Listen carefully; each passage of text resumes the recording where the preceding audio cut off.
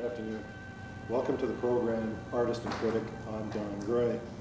With us to, today is the very well-known photorealist painter, Audrey Flack, and uh, we're very grateful to Audrey for coming. Thanks for coming, Audrey.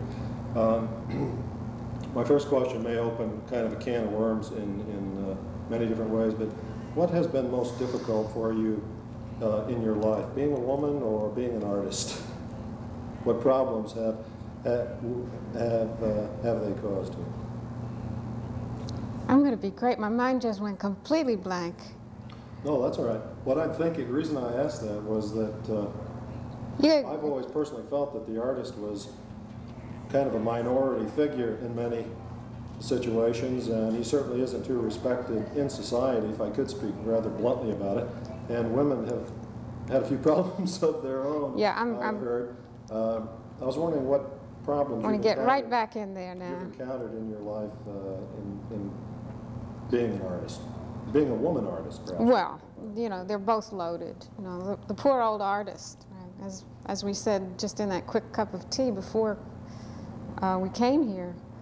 Uh, the artist has a rough time because nobody really wants him in this particular society, even though I feel he's, he, she, and it are necessary for our existence. I mean, I don't see life being too pleasurable without this crazy thing that we call art, you know, without this painting or piece of sculpture or whatever it is that the artist produces. Uh, but it's not a product like a refrigerator or a car that somebody absolutely needs, you know. You don't need the Van Eyck altarpiece, but you do need it, you know, in order to live on this planet. So that there are two kinds of needs, and um, It doesn't keep the rain gets, off, uh, and yet it, or fix flat tires, you can't sleep on the, the great painting. Yeah, we- it su- sustains and nourishes so many deeper, Well, basically life. Somewhere, you know, somewhere I've always felt that. Um, but I did get out of Yale, this uh, great rebellious art student, you know, in my black leather jacket and my tight jeans, and I couldn't get a job, you know, typical of the art students nowadays. Uh, I how did couldn't. you uh, survive? How did you it was difficult. I had, uh, I, I did eventually get a job, and I got about 30 jobs because I got fired from most of them. I was a, a, a typist, couldn't type too well. Um, oh, just name it, you know. Just name it, and I did it. Jobs and the waiting tables. Yeah, everything. And then eventually, yeah, supporting my habit. And then I would go on unemployment insurance. It- It's, it's a, I'm sure, a typical story, you know. This grueling attempt to survive, but it- it's not as if it's just that, but then you're struggling being an artist, developing your, uh, your painting, because each step is this plunge into the unknown, and, and you never know where you're going to be ending up, even though you may have desires and goals. So it's this two-way struggle, isn't it? You know, Don. How, how did Uh, you evolve into a photorealist? Well, I was just going to say that it's, it's like threefold because one, there, one, there's a problem of living. You know, there's the actual physical problem of having all of this training, getting out of school, and living, you know, supporting yourself. Two, there's a problem that if you're really um, a serious and if you're going to be an important artist and make that little breakthrough or big breakthrough, which is going to change art history and maybe go a little step further in the world of vision, you're going to be challenging a lot of other people necessarily because you're going to just break through. And when you challenge these other people, uh, many of them don't like it, so that you uh, inadvertently, because you're doing this, are going to create some difficult times for yourself. So that's two. And then, uh, and I would say for myself, that was when I began to use the photograph. Well, all hell broke loose when I began to use the photograph. Against the artistic establishment of the times, the new academy, in a sense, it was dealing with a strictly formalist, very cold abstraction. How, how did you ever surmount that negativism, in a sense, too? That was rough. And, and just then three was the answer to your first question, and that has to do with being a woman. So that you've got three things going on, uh, and more, I'm sure, you know, we can get to. So it's kind of miraculous that any artist survives, you know, right now. Exactly. Uh, Which, What- what which has- should we attack? Well, what I was thinking of was that you are now successful, uh, quote unquote, whatever, wha- whatever that means. You're uh, not only aesthetically with your, the work which has developed to a high peak, but also financially in the sense that people are desiring your work now after ignoring you for many years, I'm sure. But what, what new pressures or demands or opportunities have opened to you because of your success now? Now that people, now that you're wanted, you're desirable in a sense. Are there problems that success brings in its own due course, that lack of su- success has its own special problems? Are there a new set of problems as well as uh, Well, you know, then again, you break it down into emotional and artistic. Uh, I just read a two-page article in Vogue by Erica Jong on the uh, trials and tribulations of success. And she sounds quite depressed about it, you know. And she said to, to deal with the, the fawning adulation and then the next minute, you know, the attack, the knife in the back. And she said that it's part of human nature to do this. I'm not sure, you know, to attack or to destroy or to um, uh, be jealous of. Um, Have you encountered that yourself, jealousy and envy? Sure, I've been jealous. God, did I get jealous of Rubens? I am so jealous of Rubens. I was Peter just Paul? in Peter Paul, not not Peter Paul Mounds. Mounds, no, I know, I thought of that. Uh, Peter Paul Rubens. Hmm. Uh, no, but I've been jealous, you know, too. I think we, we're all we're all jealous. Yeah, I've had difficulty. I've had difficulty. I think it's understandable. Um, that's a kind of tacky subject to go into here because it really just gets post uh, personal. You- You'd rather not uh, explore that aspect of the artistic difficulties because Well, the, reason- artistic difficulties are something else. Like I think now, th- those are personal difficulties within your life. You know that that you can um, uh, deal with. But the artistical artistic difficulties can be when you arrive at a style. You know, and your dealer says, "Hey, you know, I can sell this. You know, let's have 20 more of these. Oh. Uh, I can sell 30 small ones, and uh, you know, a few museums want a few big ones, and you start knocking out." Uh, that's the thing you have to really watch out for because uh, keeping in mind what it's all about and the fact that we live once and we've got a certain amount of time on this earth, and if you want to be an artist, I, I can't believe that artists go into it to make money, otherwise, they'd go down to Wall Street. I mean, it's a very nice side effect, um, but it's very easy to get caught up in this kind of thing. Of course, I think we were Uh, talking before, a lot of artists willingly get caught up in this uh, repetition of a formula just to make money, that they become sort of public performers in a predictable style. How, how are you avoiding this danger? Uh, it- It's, a very real danger, and every artist who is desirable confronts it and must face it and solve it somehow to keep their creativity alive and make their life meaningful, as you say. H- h- Yeah. How have you fought this? You know, I think I, I think I can't help it. You know, it's like when I was at Cooper Union. I can't help it. I, I won't do it. I never have and I never will. Yeah. You know, I, I have a terrific dealer, you know, Louis Meisel. Uh, I, I really respect him. He's never tried to tell me what to paint, as many dealers do. Right. Um, but I, you know, Louis says, hey, how about a few small ones, Audrey? Well, I'm making big paintings now. I've got the energy and I've got the, uh, I'm seeing big. Big, right. And I've got to do it now because Right. next year, I don't know, I might not be here. Um, Well, you're an artist of, of great integrity, and uh, uh, it sounds corny, but no, not at know, I- all. I, was That's, thinking I, when I, I was really in- like to hear this. When I was in Cooper Union, Don, I was in a, uh, my class was the class with Milton Glaser and Seymour Chwast, the whole New York Magazine crew, and I was the only painter painter.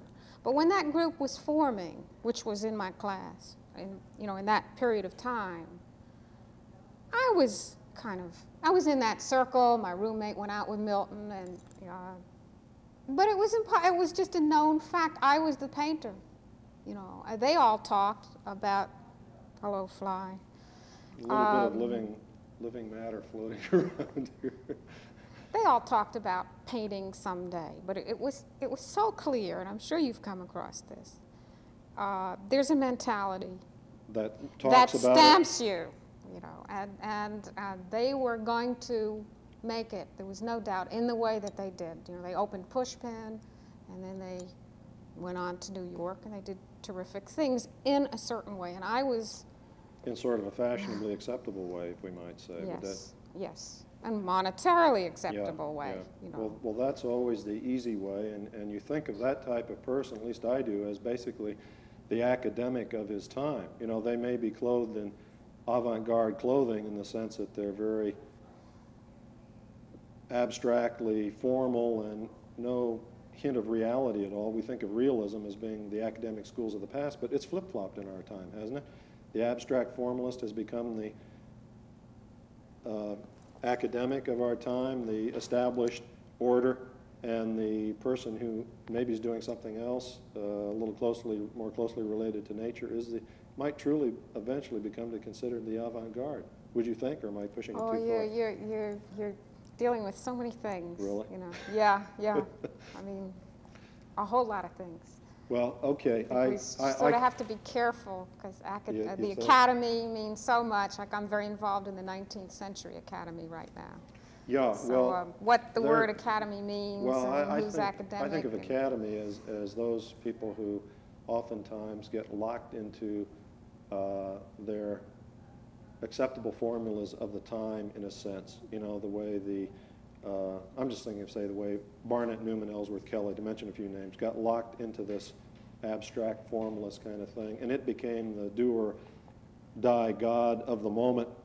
And if you are, were realistically inclined, uh, you would be looked at as kind of an outsider who would have a very difficult time countering the effect of this established art. And pretty soon it sort of calcifies, doesn't it, and goes dead, the established art, and it has to be overthrown in a way. And isn't that sort of what you, Yeah, you're in the you know, I guess doing? I was just questioning the use of the word academy is all. I Yeah. think I might use the word establishment then. Okay. Maybe you're using the word establishment. Sure. I'm when I was a realist, when I was a realist, which started in 1951, That's I was- I was That's an- early. I was an abstract expressionist. You know, I knew Pollock and Kline and de Kooning and the stories of what happened to the women or being a female in those days are really rough. Um, Why, because the abstract expressionists were He-Man lover types? Uh, was Well, that the, I mean, the- these poor guys were so involved in their macho image that look what happened to them. I think, you know, I really do feel ac- car accidents and drinking Car themselves to accident, death? suicide, Yeah. you know, drinking, Essentially, that's uh, what it was, drinking oneself to death, Yeah. right? They either all died, they were all alcoholics. Rothko slit his wrists. Um, but I think part of it, well, it, it's more complicated. Certainly part of it was to keep up a certain kind of macho image. And the women were like groupies. Hanging They, uh, around and- hanging around, and you know, if they could just get a, a look. It was very hard to be a really serious, independent female artist and be taken seriously at that time. Um, It took a certain amount of guts and, uh, but that, what, what you're saying, just to go on, is that became the establishment, that kind of art. Right. Uh, whatever was really popular, you had to do that. And if you were a realist in those days, Forget it. uh, Forget it. forget it. Right. Exactly. And it's been that way for so many years. And certainly Audrey Flack is one of those who is changing the situation, bringing a little bit more feeling of reality into art that really is essentially very unreal and in many cases very artificial. Perhaps we can start looking at some of uh, Audrey Flack's paintings, beginning with this early uh, portrait of President Kennedy. Is this the uh, fatal motorcade, Audrey, or we can say, Oh, yeah. ask what is the uh, That's the, inspiration of this? that's the Kennedy motorcade. It was November 22nd, I think it was 1963. Right. Um, five minutes before he was shot, he's riding along, uh, and his chest, poor thing, is all Totally vulnerable. totally vulnerable. There's Connally, kind of staring front, uh, straight ahead with his fixing his tie. But I, it, in all the photographs I looked at, my feeling was that Connally knew something. That's, Sensed it, you mean? I either sensed it or being from Dallas, he knew what was going to happen. That's, that's my feeling. I have no facts to base it on. This is just visual dynamics of looking at a lot of pictures, looking at Kennedy's face, looking at Jackie's face. You know, they obviously don't know. And look at Connally. Uh, there's the FBI man that jumped out of the car to get Jackie. Um, at any rate, what? Are, are you working, uh, you're working from artistic intuition, but are you saying that there was a, a conspiracy here that Connally was aware of, or that just he's uneasy because of the atmosphere I think they, the I time? think that somebody was about realism, because, uh, and working from photographs. Uh, I had never seen Kennedy personally, and yet I was so deeply moved and so upset about his death, and I wanted to express it. Uh, and I had to work from photographs. I mean, his head was blown off at that Exactly, point. I couldn't even, I, you know, even if I wanted to go to the morgue to look at him, uh, all I'd see was some gore. Yeah, I, It was interesting. These are two women grieving outside of a Dallas hospital while he was inside. You know, Kennedy meant a great deal to so many, to so many of us. Yes, so many artists. I'm not the Yeah. only one. Yeah. Lou Pollack, who had the Peridot Gallery, uh, was going to put on a Kennedy show of uh, many artists that had, Painted uh, him. Painted and sculpted. Had, uh, done some, yeah. Uh, when, when, after he was shot, you know, that had been moved by oh, this. oh, I see what you, Uh, yeah. For some yeah. reason, the exhibition was stopped or canceled, or there was some political thing, and then Lou died. Well, there's certainly been a number of strange, strange uh, incidents in connected with uh, Kennedy's life and tragic death. And I, I recall that we were, uh, to be perfectly frank, I, I was not a Kennedy admirer, but I was in somewhat of a state of shock for about four days. Oh, yes. After, glued to the television set, as so many of us were, you know, watching that tragic motorcade with the horse and the train journey and all. It, it's unforgettable in uh, our own personal lives in American history. Audrey, who, who are these? Uh, Well, uh, that we just have concluded with all of my political paintings. Oh, we have? I mean, you Uh, know, there how are, there are many, many more, but there was a whole time when I did political paintings, And and now we're just jumping, And- obviously. And we're also it- changing style from two pictures that were a little bit rougher and moving to some that are, Right, right. Well, we're moving from two pictures that were done from color, one from a color print and the other one from a black and white print, to one which was done from a slide, a slide projection. Mm. This is the first time I projected a slide. you- now you projected it on the canvas? By the way, the, the, f- the frame is painted. And unfortunately, every time it's reproduced, they, they remove the frame because they don't think that it was painted and they think that they're doing me a favor and I get very upset. It is painted, it's yeah, part of the, it's, part of it's the picture. tabloid, included you as know, a- and, yeah. and fortunately, it, you know, it, it works so that people don't think that it's painted. Uh, at any rate, this is Oriole Farb. She um, was the director of the Riverside Museum, Oh, yeah. and she commissioned this portrait of her family. How, how, how, how did you come, well, let me put it this way. How can one project a slide on a canvas? Is that what you're saying you did? Yeah, well, what- how can what happened- it uh, at, with the Oh. light down and, and all this? That, that takes another interview, but I'll tell you how it started.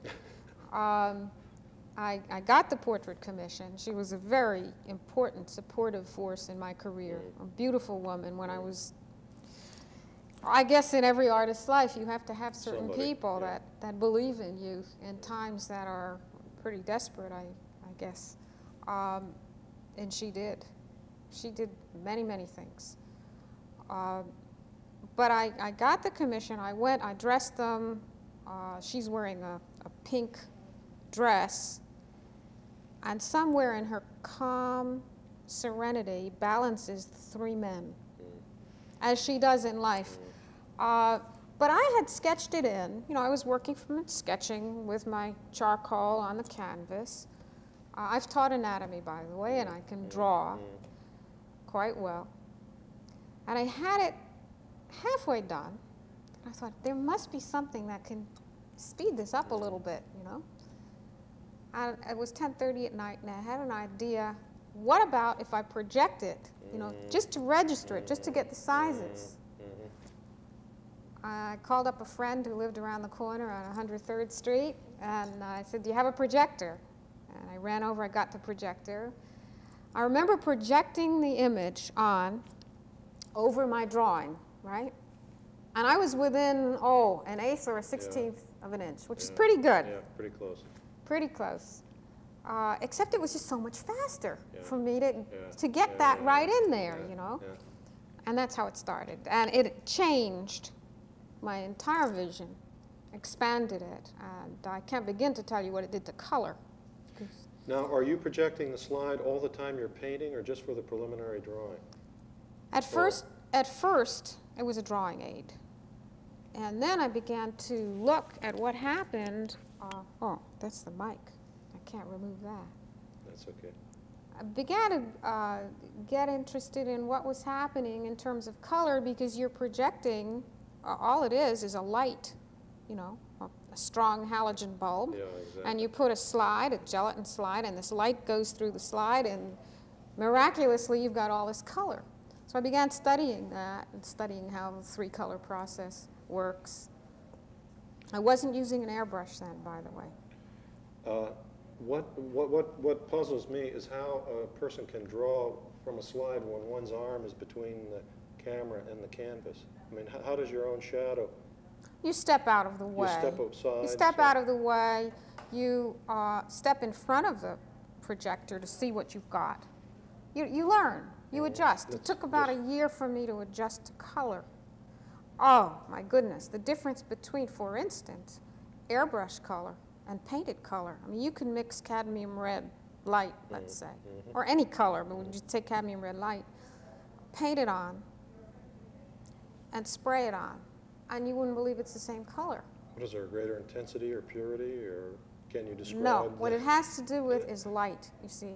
But that's another thing, because I don't believe in color anymore. I think that color is only reflections of light off of a surface. You mean the rougher paint surface will refract it in some different way? No, because spraying is not necessarily rougher. No, I mean the brushwork would be rougher and the spraying might be smoother, The- was what I was, Mm, Well, you, but it would, it would equally apply to a, a smoothly applied mm. paint. Uh, Well, I'm, I'm not an airbrush man myself, and frankly, I don't know that much about airbrush, and so I have to ask you, perhaps in relation to uh, Michelangelo's David here, your painting of the, st- the statue, uh, how, how, how, what, what does the airbrush do, and, and what is it in terms of technique? Is it, is it air blown? I mean, is it? Sorry, Don, but this is not airbrush. Oh, this is an airbrush. Painted with a little brush, but we'll get to some We're- oh, airbrush you- ones. Okay, you haven't reached airbrush at this Have not stage. reached Okay, airbrush I'll- at this I'll stage. save it I've reached slides. Okay. You know, this is a slide I took. Okay. Uh, what I'm trying to do here, by the way, is more interesting, I think, in terms of subject matter. Uh, because I got involved with objects that had been previously called kitsch, you know, like objects that I felt had been demeaned. Uh, you've I seen mean, so you've many reproductions so many reproductions. You've Mm. seen David. I've seen that poor David's head, a plant in it. Mm. You know, the head they cut off the top and a plant grows out of it. The ultimate insult, there, or a on, decal on, on, on tablecloths, right, right, or these little uh, Yeah. wax Yeah. uh, statues, you know, anatomically terrible. Yeah, exactly. And and yet, um, my feeling was that the people need this image so badly. What the humanism of it, more or less. There's there is something great about this figure. Putting it mildly, right, but there's right. something which has attracted and has great meaning. I think it's humanism, by the way. I think he's a gentle, heroic male, not not a violent male, even though he has killed Goliath. And uh, I think people need it and want it and reproduce that image for themselves. And what I wanted to do is also that, but elevate it to the level of art. So it's a combination of, of using something that was kitsch. And by the way, I used this statue and not the one in the Academy, mm. quite intentionally. Mm. mm. This is a statue people see. This is the one that's weather beaten, you know, with the streaks coming down his face.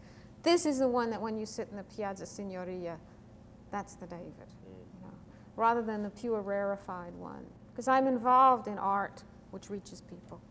I Well- care much about it. You know, you really are uh, speaking toward our, our own time, which I, I feel has uh, relegated our humanity to a far, far, it's been far removed, and we're more impressed with technological developments and uh, commercial aspects. And I I think people have gotten lost in the shuffle in our time. Yes. You know, and I, Yes.